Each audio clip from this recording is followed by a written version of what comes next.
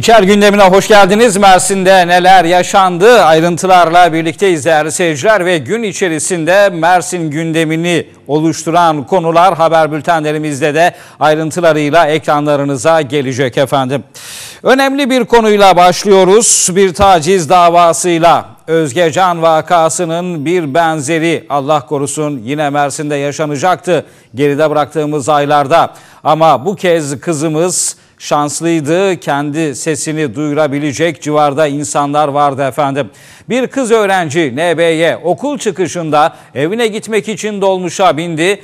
Biner binmez dolmuş hareket etti. Dolmuşta 15 yaşındaki genç kız NB'ye dolmuşun şoförü ve şoförün arkadaşıyla yalnız kaldı. Dolmuş hareket etti ve bir süre sonra normal güzergahından çıktı, mahalle aralarında gezmeye başladı. Şoför ve şoförün arkadaşı 15 yaşındaki NBY'yi dolmuşta taciz etmeye başladılar. Genç kız bağırarak sesini duyurdu ve o kişileri korkutmayı başardı. Sonrasında okul önüne dolmuş tekrar gelince öğrenciler dolmuşa aynı dolmuşa binince genç kız rahat bir nefes aldı. Annesiyle buluşur buluşmaz da hemen karakola gitti. Savcılığa dilekçe verdi ve o iki kişiden tacizci iki kişiden dolmuş şoförü ve onun arkadaşından davacı oldu. Dava birkaç aydır devam ediyordu ve karar duruşması gerçekleştirildi. O iki kişi hapis cezası aldı ama yetmez. Kendi vicdanen söylüyorum ay cezası aldılar ama yetmez. Habere bakalım. 7 Ekim 2016 tarihinde okul çıkışında evine gitmek için bindiği minibüste şoför ve yanındaki arkadaşı tarafından alıkonularak söz ve hareketlerle taciz edilen ve çığlık atarak kurtulan lise öğrencisi 15 yaşındaki NBY'nin davasında sanıklar cezasız kalmadı. Lise öğrencisi NBY'nin Özgecan Aslan olayının bir benzerini yaşadığı olayda karar duruşması Mersin Adliyesi'nde 8. Asliye Ceza Mahkemesi'nde yapıldı. Duruşmaya lise öğrencisi NB'ye katılmazken tutuksuz yargılanan sanıklar minibüs şoförü MG ve olay anında yanında bulunan arkadaşı SB, ceza muhakemesi kanunu gereğince tayin edilen avukatları Abdülbaki Tuna ile birlikte katıldı.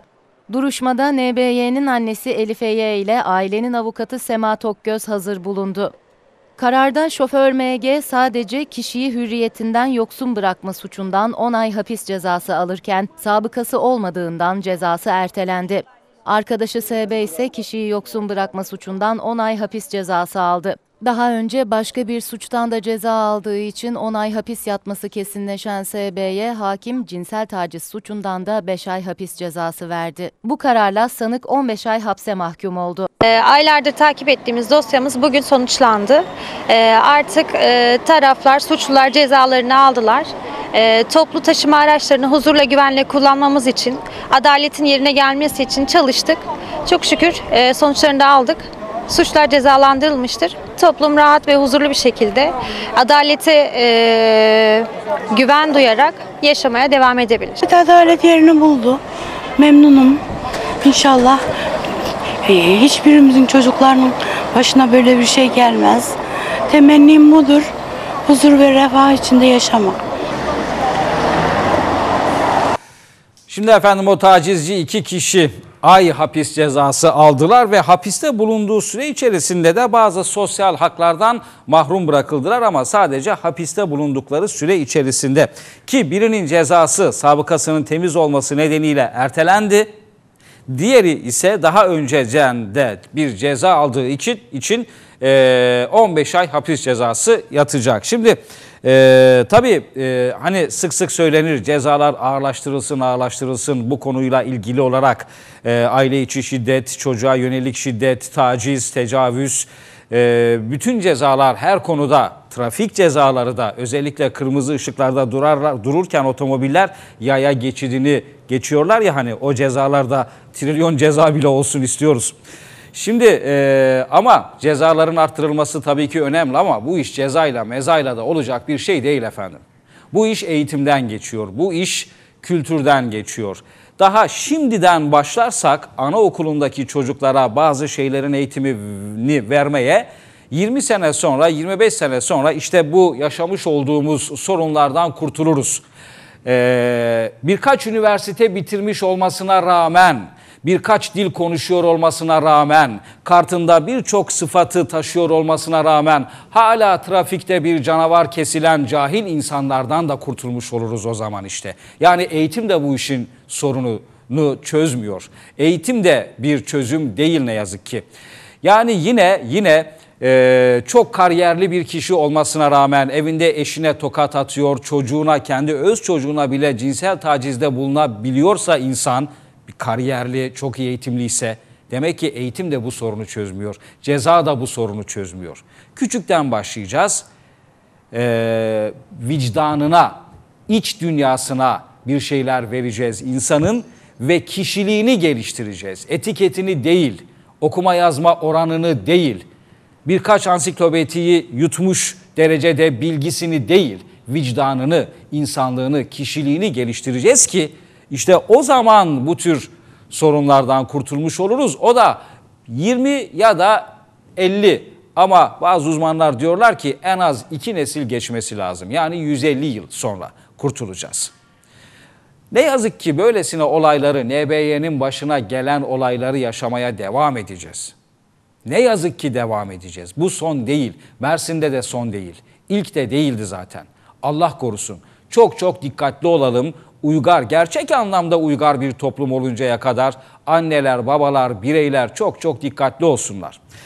Ve kendi içinde, kendi içinde şu anda beni dinliyorlarsa, izliyorlarsa böylesine ayıp, insana yakışmayan, bir canlıya yakışmayan şeyler yapma güdüsü, isteği hisseden insanlar varsa onlar da bir an önce gitsinler ya devlet destekli ya da özel bir şekilde bir psikoloğa, bir psikiyatriste, bir gelişim uzmanına gitsinler. Ben böylesine tehlikeli kendi başımı, ailemin başını belaya sokabilecek, rezil rüsva edebilecek şeyler iç dünyamda istiyorum, hissediyorum. Ama bunun yanlış olduğunu da ben bilmiyordum. Şimdi öğrendim ya da ben yanlış olduğunu düşünmüyorum ama toplum dengesi açısından yanlış olduğunu söylüyorlar. Ne yapabilirim diye destek alsın. En azından bu derece uygar olsun. Bütün sorunları kişisel anlamda çözülecektir o kişinin. Bundan emin olun kimse de kimseye bir şey söylemeyecektir. Hasta doktor mahremiyeti vardır. Kimse de kimseye hiçbir şey söylemeyecektir. Korkmayın. Kesinlikle korkmayın. Allah korusun çok dikkatli olalım. Diğer bir e, yine tehlikeli olaya gelelim. E, can kaybı da yaşanabilirdi hakikaten. Nerede? Anamur'da. Anamur'da bir çadır e, atölyesinde, e, iş yerinde yangın çıktı. Kısa sürede yangın büyüdü. Maddi zarar oluştu. Anamur'da sanayi sitesinde yangın çıktı. Olayda iki dükkan yandı. Zararın yaklaşık 500 bin lira olduğu belirtilen yangına Mersin Büyükşehir Belediyesi Anamur İtfaiye Daire Başkanlığı'na bağlı ekipler müdahale etti. Anamur Sanayi Sitesi B blokta bulunan Kamil Burak'a ait saray çadırcılığın çatı inşaatı sırasında yapılan kaynaktan çıkan kıvılcımlar etrafa saçıldı. Bu sırada komşu Öztürkler mobilyadaki ahşap ve sentetik malzemeler kısa sürede alev aldı. Yangında can kaybı yaşanmazken zararın yaklaşık 500 bin lira civarında olduğu belirtildi. Yangının diğer iş yerlerine sıçramaması için ekipler büyük çaba sarf etti. Yaklaşık 2 saatlik bir çabanın ardından kontrol altına alınan yangının neden çıktığı ile ilgili soruşturma sürüyor. Kız Kalesi beldeyken belediyeydi. Sonrasında bütün şehir yasasıyla Erdemli ilçesine bağlı bir mahalle oldu. İşte e, Erdemli Belediyesi de Kız Kalesi'nde eski belediye binasını çok amaçlı bir e, salona dönüştürmüştü. O salonun ses sistemi Mart ayında çalındı ve çalan kişiler de yakalandı. Erdemli'de Kız Kalesi eski belediye binasındaki yaklaşık 40 bin lira değerindeki ses sistemlerinin çalınmasına dair yürütülen soruşturmada gözaltına alınan bir kişi tutuklandı.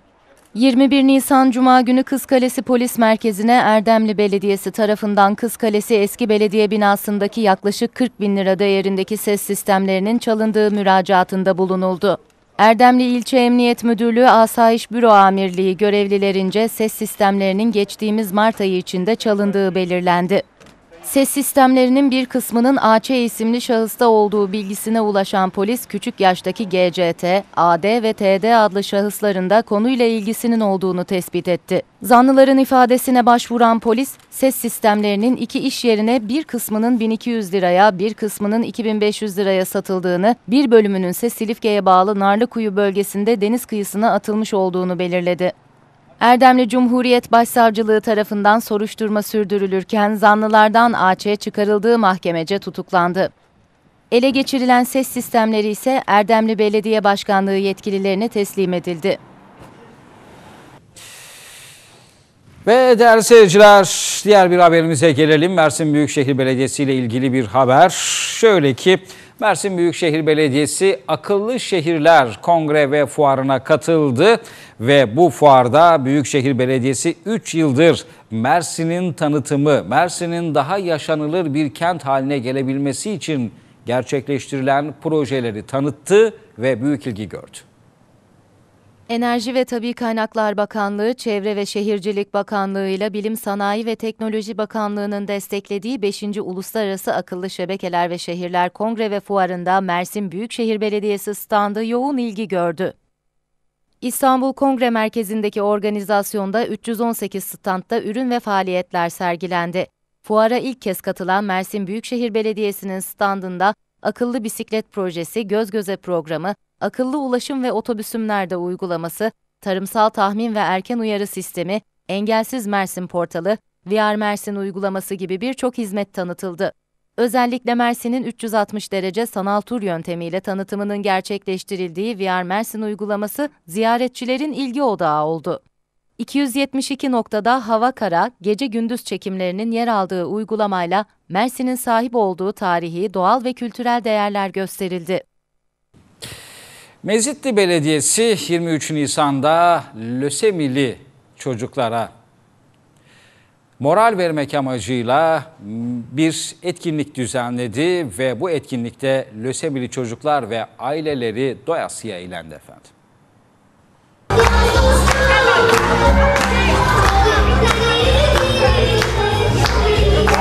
Mezitli Belediyesi 23 Nisan Ulusal Egemenlik ve Çocuk Bayramı kutlamaları kapsamında lösemi hastası çocuklar için eğlence programı düzenledi. Mersin Üniversitesi Sağlık Araştırma ve Uygulama Hastanesi Çocuk Onkolojisi ve Hematoloji bölümünde tedavi gören çocuklar için Divan Otel'de düzenlenen etkinliğe Belediye Başkanı Neşet Tarhan, eşi Sembol Tarhan'la birlikte katıldı.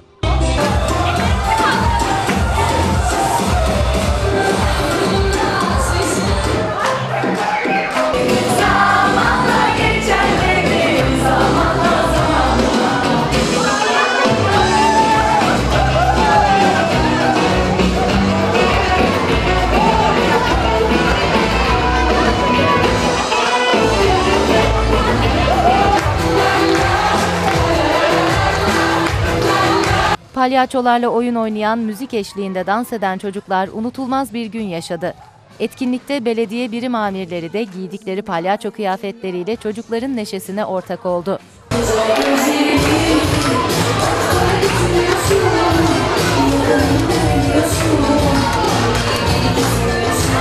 Atatürk'ün söylemiş olduğu tek bayram, dünyadaki çocuklara armağan ettiği bayramı sadece Cumhuriyet'in kuruluşuyla bağlantı kurmamak gerekir. Onun ötesinde çocukların da mutlu olmaya hakları vardır diyorum.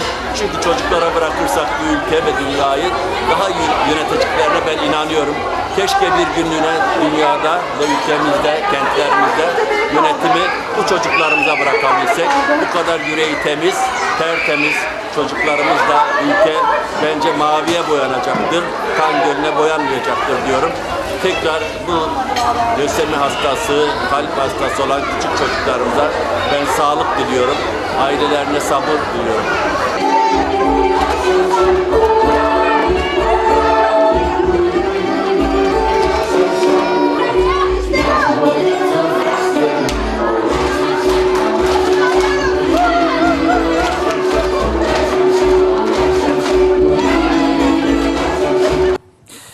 Spora gelelim. Sporda önemli bir etkinlik daha başladı. Toroslar Belediyesi'nin her yıl geleneksel olarak düzenlediği köyler arası futbol turnuvası 23 Nisan'da başladı ve 30 Ağustos Zafer Bayramı'nda final oynanacak.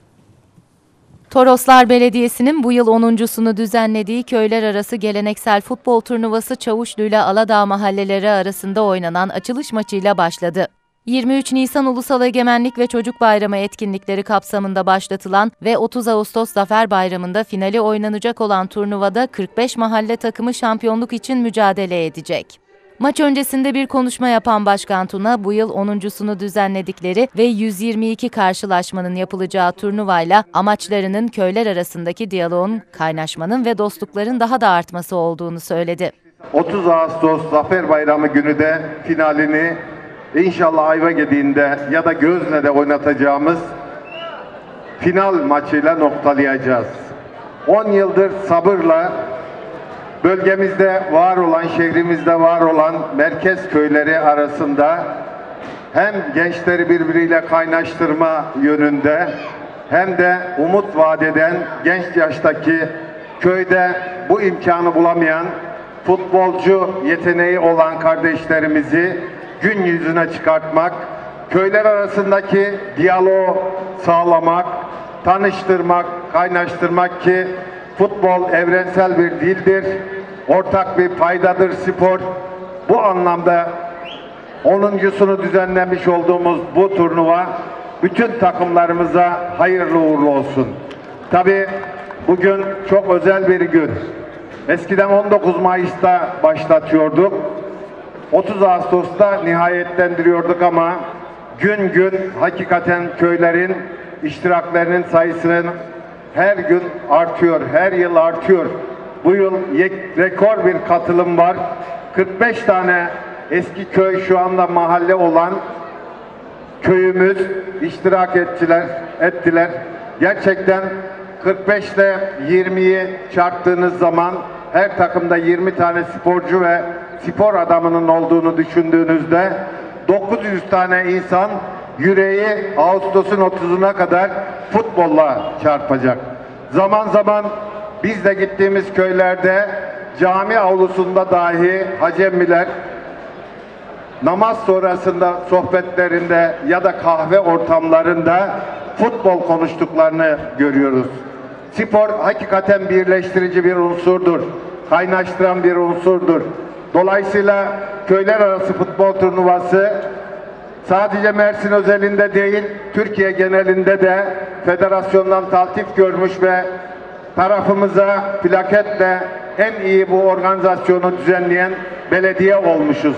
Böyle de bir özelliği, böyle de bir güzelliği var. Ben bu anlamda tabii bugün ilk başta başlayacağımız startını vereceğimiz bu turnuvanın kazasız belasız aynı zamanda fair play ölçüleri içerisinde 122 tane maç düzenlenecek. 122 tane maçta hakemlerimiz görev yapacaklar. Hiçbir hakem hiçbir köy takımına yakın ya da uzak değildir.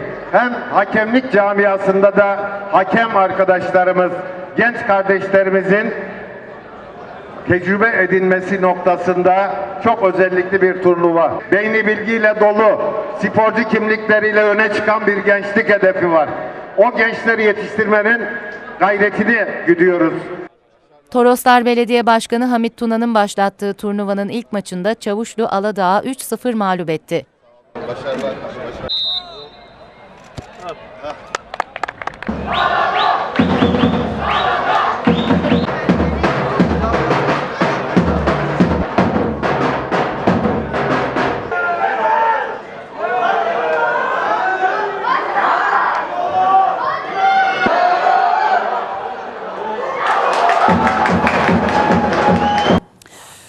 Mersin İdman Yurdu'na dönelim. Mersin İdman Yurdu'nda Bulgar milli takımının da kalecisi ki bir zamanlar Bulgar milli takımının kalecisiydi ama son dönemde gözden düştü. Mersin İdman Yurdu'nun birinci kalecisi Mihailov. Mihailov yönetimin almış olduğu kararla kadro dışı bırakıldı.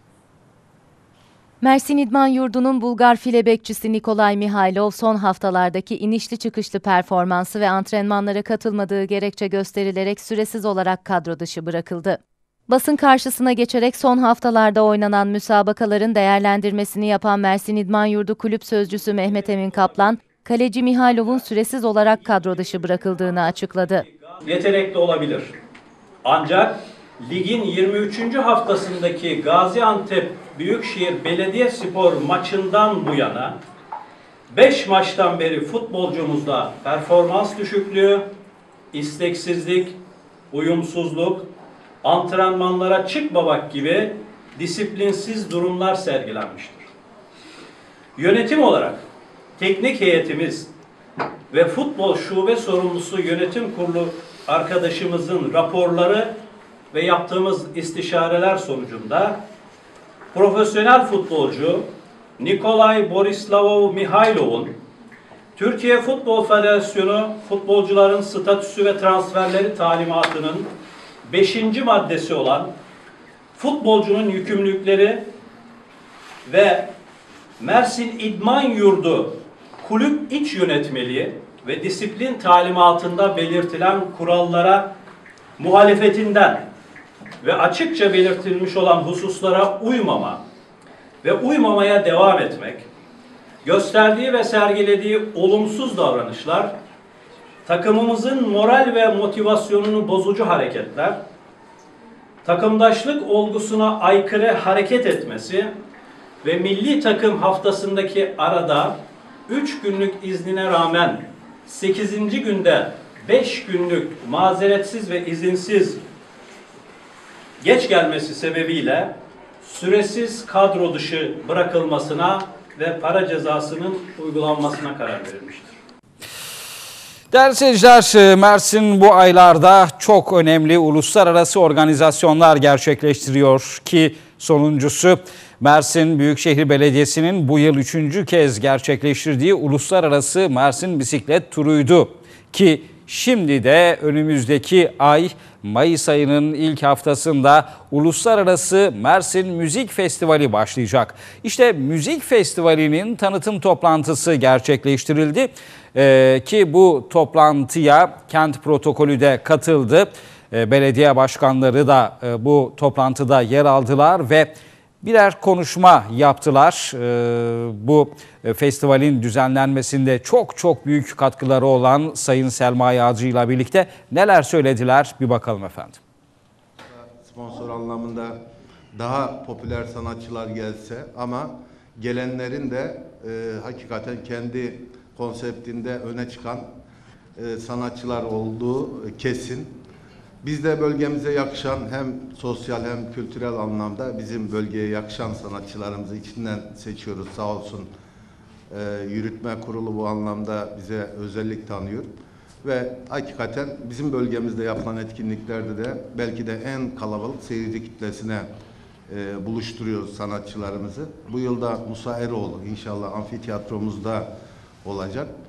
Mersin Allah'ın verdiği bütün güzellikleri içerisinde barındıran bir kent.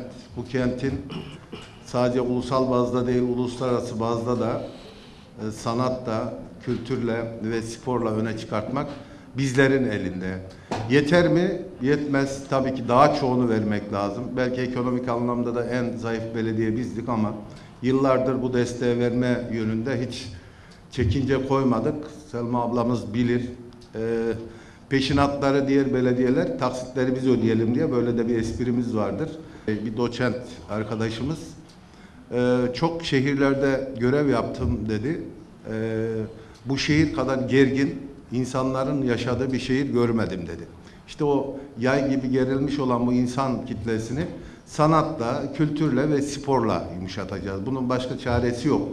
Az olur, çok olur. Katılımcısı zayıf olur ama inatla ve ısrarla biz bu festivali destekliyoruz. Eksiklerimizi not edelim. Gelecek yılda daha fazlasını yapalım ama yapalım bu festivali diyorum. Tabii ki başlayanın sürdürülmesi lazım dedik. Narenciye Festivali'nin iki yıldır yapıl- yapılmamış olması ama İbrahim Bey gibi ben de e, bu iş sürdürülsün ama başta üreticileri adına festival düzenlediğimiz üreticileri bu işin içerisine sokmamız gerekir düşüncemi her yerde dile getirdim. Halen de bu sözümün arkasındayım. Attığımız taşın ürküttüğümüz kurbağaya değmesi lazım. Eğer bu işi yasak savma kabilinden birileri eğlensin diye yap- yapıyorsak orada bir yanlışlık var demektir.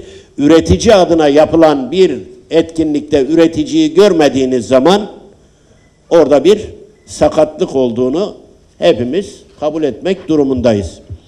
Ben o festivalin e, inşallah bu yıl Narenciye sempozyumu da burada gerçekleştirilecek. Onunla bütünleştirilerek yeniden yaşatılması gerektiğini düşünüyorum. Bu işi belli bir kurum değil, İbrahim Bey'in de belirttiği gibi işin gerçek sahibi yerel yönetimlerin bir araya gelerek yürütmesi gerektiğini düşünüyorum. Bu işin en zor tarafı finans sağlamak için herkesin kapısını çalmak. Ve herkes de bu konuda çok gönüllü davranmıyor. Bunun sıkıntısını hep birlikte çekiyoruz. Özellikle sivil toplum örgütlerinin bazıları bu işin yapılmaması için çünkü orada belli bir katkı sunacağından dolayı özel bir çaba da gösteriyor. Artık bu sivil toplum örgütlerinin de bu kentin bir objesi olduğunu, bu kentin gelişmesi yönünde üzerine düşeni yapması gerektiğini özellikle belirtmek istiyorum. Sanat, kültür bir kentin gelişmesinde, tanıtılmasında çok önemli bir unsur. Bu uluslararası Mersin Festivali'nin bu yıl 16.sının gerçekleştiriliyor olması da Mersin açısından çok çok önemli. Bizim birlikteliklere ihtiyacımız var. İşte bu festivalde bu birlikteliğin bir ayağıdır. Mersin'i tanıtma konusunda çok önemli bir değerdir. Buna sahip çıkmak durumundayız. Hep birlikte bu tür faaliyetleri, etkinlikleri geliştirmek ve kentimizi daha iyi noktalarda tanıtmak durumundayız. Mesela göreve geldiğimizden bu yana fuarlara katılmak için can hıraş mücadele ediyoruz. Bütçe ayırıyoruz, zaman ayırıyoruz, kendimizi feda ediyoruz tüm arkadaşlarımızla birlikte. Ama bütün ilçelerimize, ilçe belediyelerimize gelin burada kendinizi anlatın dememize rağmen bazı belediyelerimiz bu konuda ayak sürüyor. Bundan da çok büyük rahatsızlık duyduğumuzu özellikle belirtmek istiyorum. Bunun siyaseti falan yok. Bu Mersin'in tanıtım olayı. Herkes kendi üzerine düşeni orada yapmak mecburiyetinde. Ben tekrar başta Selma ablamız olmak üzere bu festivalde emeği geçen herkese, katkı koyan herkese huzurlarınızda teşekkür ediyorum. İyi bir, iyi ve başarılı bir festival olmasını temenni ediyorum. Hepinize saygılar sunuyorum. Bu festival toplantısında Yenişehir Belediye Başkanı İbrahim Genç festivale eleştiriler getirdi. Tabii e, eleştirileri e, biraz nezaketli bir şekilde ortamda nezaketli insanların olması nedeniyle nezaketle karşılandı ama yine de kısa bir süre gergin anlarda yaşandı. Neler oldu bakalım efendim. Belediyenin imkanlarını olabildiğince kullanmalılar. Her belediye kendi ilçesindeki etkinliğini kendisi belirlemeli. Bir etkinlik, üç etkinlik, beş etkinlik, en on etkinlik. Ne istiyorsa o kadar etkinlik koymalı, o kadar sanatçıyı getirmeli ve kendi halkıyla buluşturmalıdır. İnanıyorum ki böyle bir yarışta gerçekten bir müzik festivali olur burada. Uluslararası Müzik Fe- Festivali olur. Anımsarsınız bir Narenciye Festivali vardı. Tam da Mersin'de yapılması gereken bir festivaldi o. Abdullah Özdemir'e burada yürekten teşekkür ediyorum. Geçenlerde bir çağrıda bulundum kendisine telefonda. Bu festivale tekrar başlattı. Mersin için büyük bir kayıptır. Biz gereken desteği size verelim dedim. Herhalde kendisi düşünüyor zannederim. Kendisi ya da herhangi bir arkadaşı veyahut da herhangi birimiz çıkarız bu festivali devam ettiririz. Bunun gibi belediyeler bütün ağırlığını ve imkanlarını koyarak bu müzik festivalini gerçekten Mersin halkına, Mersin'e ve uluslararası düzeye çıkması için gerekeni yaparlarsa o zaman biz de gümbür gümbür buraya çıkarız. Meydanlara çıkarız, salonlara çıkarız ve doyasıya müzik dinleriz. Halkımız da gerçekten müzikle buluşur. Bunun adını da Uluslararası Müzik Festivali denir. Bunu yaparken falanca ülkenin ya da filanca ulusun müziğini ille de halkımızın önüne sürmek gerekmez. Burada örnek vermek isterse, e, gerekirse Kültür merkezde ben Neşet Tarhan, şey Neşet Tarhan benim yanımda duruyor arkadaşım. E, Neşet Tarhan derken Kırşehir'den e, ulaşamadım oraya. Neşet Ertaş. Ertaş söyleyecektim de. Neşet Ertaş çok sevdiğimiz, hepinizin çok sevdiği, e, gülmek de lazım değil mi? Herkesin çok sevdiği, gerçekten ünlü bir halk ozanımızdı. Onunla ilgili yapılan bir etkinlik hala tadı damağımda benim. Bir Karacaoğlan'ın da olmalı, bir Köroğlu'nun da olmalı, diğer ünlü ozanlarımız da olmalı. Bizim değerlerimiz halkımızın önüne konmalı. Tabii ki diğer halkların da müzikleri önümüze koymalı, onların da tadına bakmalıyız. Ancak bir müzik festivali o şekilde halkımızda oluşturulabilir. Kısacası benim söyleyeceğim burada çok şey söylenmez. Biz her şeyi yapmaya şahsım adına söylüyorum varız. Eğer bana sorulsaydı siz Yenişehir'de finanse edin ne gibi etkinlikler bize öğrenecek, e, önereceksiniz program, programımıza deselerdi ben çok farklı şeyler koyardım. Bugün koyduğumuz desteğin belki 10 misini koyardık ve gerçekten önünüze de gerçek anlamda bir festival programı gelirdi. Bundan böyle eğer programlar böyle yapılırsa, festivali yönetenler bu şekilde seçilirse, biraz önce söylediğim gibi uluslararası müzik festivali serpilir, büyür ve gerçekten uluslararası düzeye çıkar. Bugün ben gerçekten üzgünüm. Bu basın toplantısı bir uluslararası müzik e, festivali basın toplantısı değildir. Yapılan etkinlikler uluslararası diyecek düzeyde değildir. Ben bunları söylerken belki nezaket, nezaket kurallarını aşıyoruz. Şu anda bunu söylemenin zamanı mı diye düşünülebilir. Tam da zamanıdır. Eğer biz bunu festival yapacaksak, büyüteceksek, Mersin'le ve Mersin halkıyla buluşturacaksak, uluslararası düzeye çıkaracaksak hepimiz gereken neyse sonuna kadar bunu yapmalıyız. Elimizde olan bütçeler sizin paralarınız. Bu bütçeleri Mersin halkı nasıl istiyorsa öyle kullanmalıyız. Bir festival söz konusu istiyorlar. Evet bu festivalin büyük bir festival olması için, uluslararası olması için biz bu bütçeden en büyük pay ayırıp kendimiz de elimizi taşın altına koyarak yapmak durumundayız. Sözümü uzattım. Hepinize saygılar sunuyorum. Buraya gelirken de bir konuşma yapacak aklımızın ucunda yoktu. Hatta Yapmak. yapmayacağım diye haber yollamıştı. Evet, evet öyle. Niye yapmayacağım dedim. E çünkü ben içimden geleni söyleyeceğim de onun için. Ama ben inanıyorum ki şu anda siz de söylediklerimi onaylıyorsunuz. Hepinize saygılar sunuyorum. Arkadaşlar diğer başkana e, söz vermeden e, İbrahim Başkan teşekkür ediyorum. Söylediklerinin içinde bir tanesi sadece doğru geliyor bana. Kaşın altına elimizi miktarı önemli olmayacak şekilde koymalıyız demesi. Biz bu festivali kurduğumuz yıldan bu yana eğer konuşmalarımızın birine rastlasaydı bu söylediklerinin çoğunu söylemeyecekti eminim. Şunu diyorduk arkadaşlar, biz halkımıza, kent insanımıza ille de klasik müziği sevdirmek için çıkmadık yola. Biz bunu hak eden halkımızı evrensellikle buluşturmak için bu işi yapıyoruz. Evrensellik ne demektir? Çok seslilik, polifonik demektir. Çok sesli olursan eğer benim sana kızmadan seni dinleyebildiğim gibi beni dinlersin, seni dinlerim. Sen de aynı şekilde şu anda beni dinliyorsun. Bu işi zor şartlar altında yaptık. Parasız kaldık. Elimiz hep cebimizdeydi. Ama inatla yaptık ve eğer bu festival 2007 yılında EFA'ya yani Avrupa Festivaller Birliği'ne kabul edilmiş ise bu festival uluslararası bir festivaldir. Bir takım şeyleri öğrenmemiz gerekiyor. Bunun dışında Türkiye'de 7 tane EFA'ya kabul edilmiş festival var. Bunların ikisi devletindir. Diğer beşinin bir tanesi de biziz. Bunun için bir alkış istiyorum.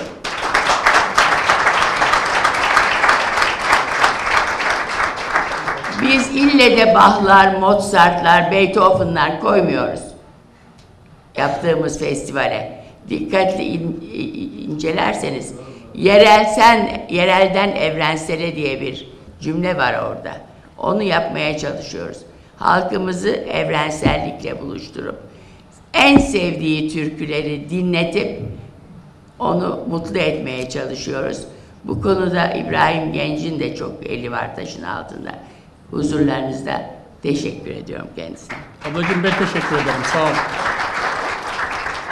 Şimdi daha sonra devamlı konuşmak üzere. Söz vermeden ablacığım şahsıma yönelik söylediğim bir şeyi düzelteyim. Basın toplantısında olan basın mensuplarına da söylesin. Benim olmadığım bir basın toplantısı var mı müzik festivaliyle ilgili? Hatırlayan var mı? Kimse iddia edebilir mi? Ablam diyor ki eğer bizim yaptığımız toplantılarda olsaydın bilirdin şöyle Hepsinde şöyle olur. olsaydın Ben hepsinde vardım. Hiç olmadığım bir basın toplantısı yoktur biliyor musun? Canım ben de bir tane yanlış söyleyeyim. Sen bir sürü söyle. Ablacığım yaptığınız do- doğrular nedir biliyor musunuz? Uluslararası Müzik Festivali gibi büyük bir yola çıktınız, doğru çıktınız. Sizden önceki arkadaşlara da teşekkür ediyorum. Küçüle küçüle tükenme noktasına geldi bu. Tükendik ben onun için bugün böyle bir konuşma yapmak gereğini duydum. Şimdi benim bakın. istediğim, benim istediğim gerçek anlamda bu noktadan itibaren bu olayı yeniden ele alalım, büyütelim uluslararası müzik festivali yapalım. Bunu yaparken de yerel yöneticilerin hepsinin elini taşın altına koyup sizlerin parası olan, başında bulunan bütçelerden gerekli en büyük payı ayırmaktır. Burada bir yanlış var mı? Burada hiçbir yanlış yok. Zaten tek yanlış olmayan dedim ya başkanım. Buydu. Ee, ama bunu senin yanında, bak kızma bana, sen benim kardeşimsin. Bunu senin yanında herkesin önünde açıklamak istiyorum. Çok zorlandığım bir gündü. Yapamayacak gibi hissediyordum. Beraberdik. Korkma. Ne yapar yapar. Festivali yaparız dedim bana. Doğru mu? Bunun Doğru. için de bir alkış istiyorum şimdi. Ben düşüncemi tekrar ediyorum. Sayın Başkan e, böyle olmazsa bu festival rayına giremez. Ben Girdi ısrarla- bile ve devam edecek. ben. Şimdi artık biz Büyükşehir Belediye Başkanımız olur. Hayır ben yoğunum derse ilçe belediye başkanı biri bunun başkanlığını yapmalı. Tek Benim kesin görüşümdür. İkincisi belediye başkanları kendi ilç- 13 ilçemiz var. Hepsi belli etkinlikler önermeli. Ben bunları finanse edeceğim demeli ve bu etkinlikler bu şekilde 5 yerine 10, 10 yerine 20, 20 yerine 30 olur. O belediyelerde onun tamamını finanse eder hiçbir şey olmaz.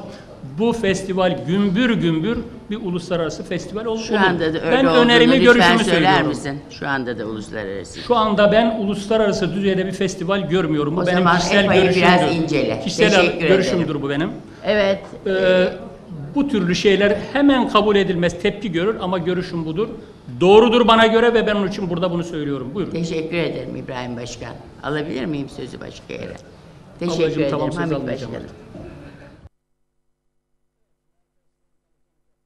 Da bunlar yaşandı. Ayrıntılara yine haber bültenlerimize yer vereceğiz. Yerel gazetelerimize de bir bakış atalım.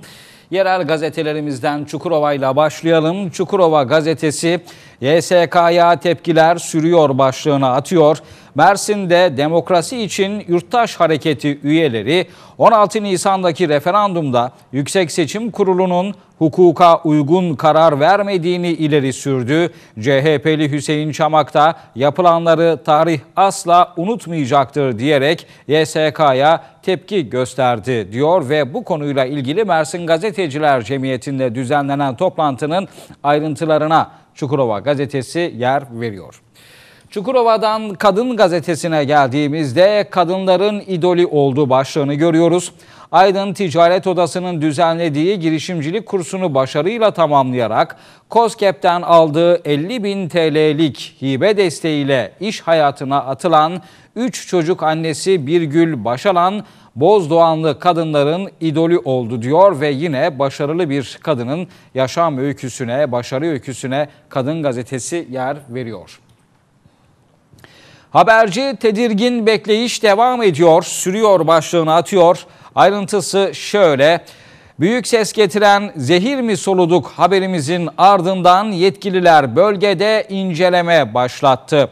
Kazanlı'da içerisinde tehlikeli atıkların tutulduğu brandanın yırtılmasının ardından bölgeye yayılan zehirli atıkların incelenmesi sürerken mahallelilerin de çiftçilerin de tedirgin bekleyişi devam ediyor diyor ve bu ciddi konu önemli konu ele alınıyor Haberci gazetesinde diyoruz.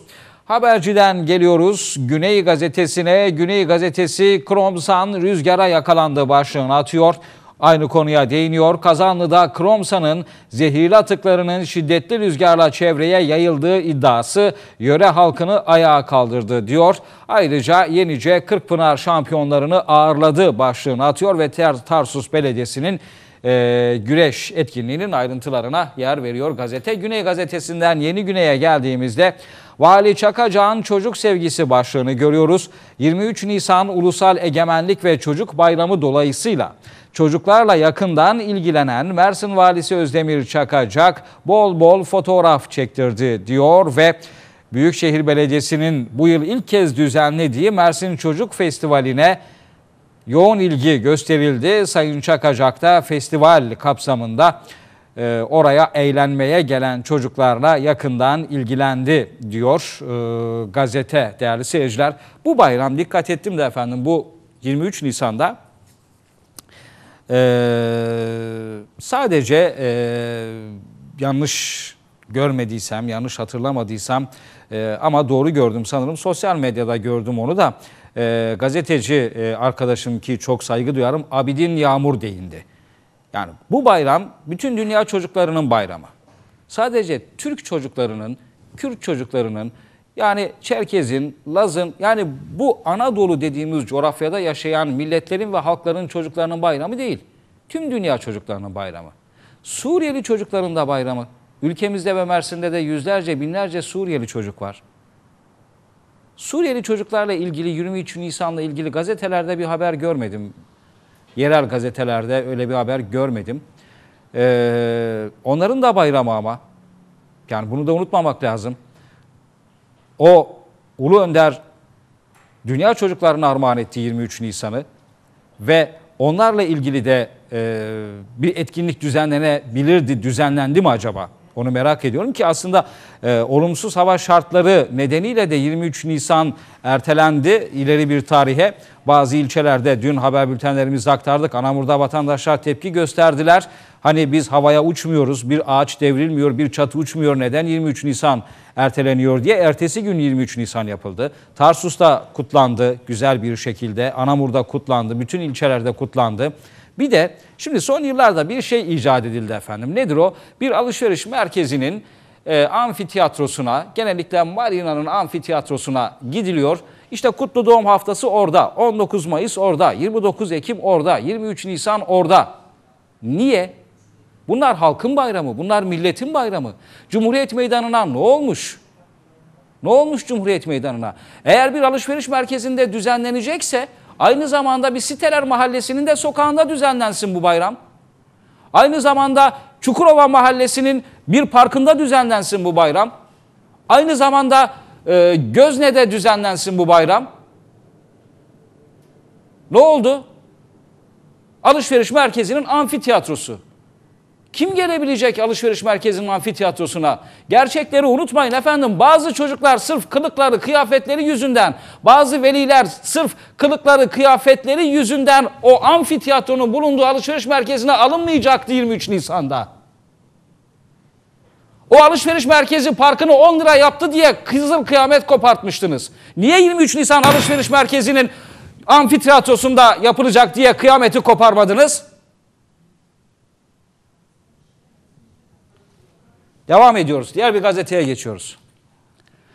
Mersin gazetesine geldiğimizde Mersin gazetesi Mersin bu zehirden bir an önce kurtulmalıdır başlığını atıyor ve o önemli konuya, o ciddi konuya Mersin gazetesi de geniş bir şekilde yer veriyor efendim. Geçtiğimiz günlerde Mersin'de etkili olan fırtınayla birlikte zehirli atıkların etrafa yayıldığı iddiası kısa süre içerisinde gündem oldu. Bununla ilgili konuşan CHP Mersin Milletvekili Aytu Atıcı yetkililere seslenerek buna sessiz kalmamalıyız. Mersin bu zehirden bir an önce kurtulmalıdır dedi. Ve e, Sayın Atıcı bu konunun üstüne ciddi bir şekilde gidiyor değerli seyirciler. Bugün kendisiyle e, bir e, bu konuyu konuşacağımız canlı telefon bağlantısı kuracaktık ama e, uygun değildi kendisi. Uygun olursa yarın bu konuyu konuşacağız kendisiyle ayrıntılı bir şekilde. Mersin Gazetesi ile yerel gazetelerdeki haber turumuzu da sona erdirdik ve bugün de İçer Gündemi programını burada noktalıyoruz. Ayrıntılar tabii gün içerisinde haber bültenlerimizde olacak. İçer TV'de kalın, hoşçakalın efendim.